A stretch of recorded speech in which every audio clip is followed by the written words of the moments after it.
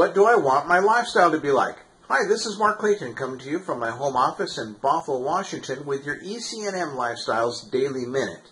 And if you've been following along, this is the seventh video, in the last video as well, in our series where I ask you to sit down with some paper and brainstorm. On this last video, ask yourself the question, what do I want my lifestyle to be like? And so with that, what do we mean by lifestyle? Because, you know, obviously swingers who use that term in describing, you know, it's the lifestyle.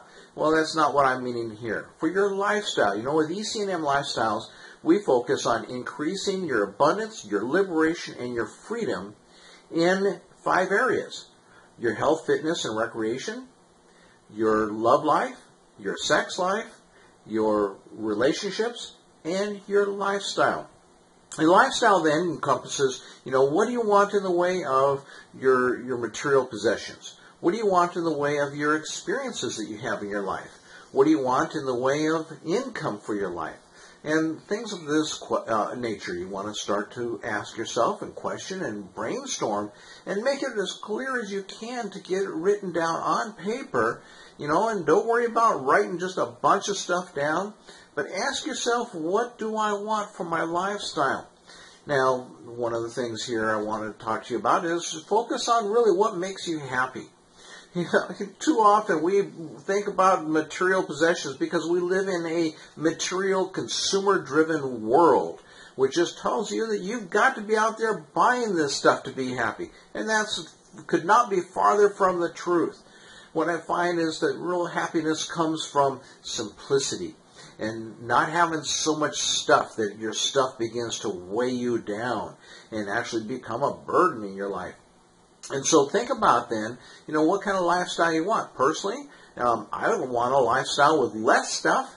You have a minimum amount of stuff. It, the stuff that I have needs to serve a really good purpose in my life. But then to have a lifestyle where I'm free to enjoy and experience things with friends and other people that I enjoy having in my life. You know, that means a lot of travel. That means, you know, going out for coffee and, and going out for some meals and just going out on little getaways for the day or for the weekend. And so it means having the freedom and the, the, the ability to really totally enjoy your life because you've got a little bit of money. You don't have to be spending all your money on car payments and house payments or rent and all the things that you then go out and buy you don't need to spend money on a lot of stuff. That's personally for me. And so I find that the lifestyle that makes me happiest is a lifestyle with less stuff, not more stuff. And so as you sit down and, and think about for yourself, what is it that I want from my lifestyle? Just think about what makes you happy. You know, if it's getting together with your friends, if that really makes you happy, then you should do more of that and increase that.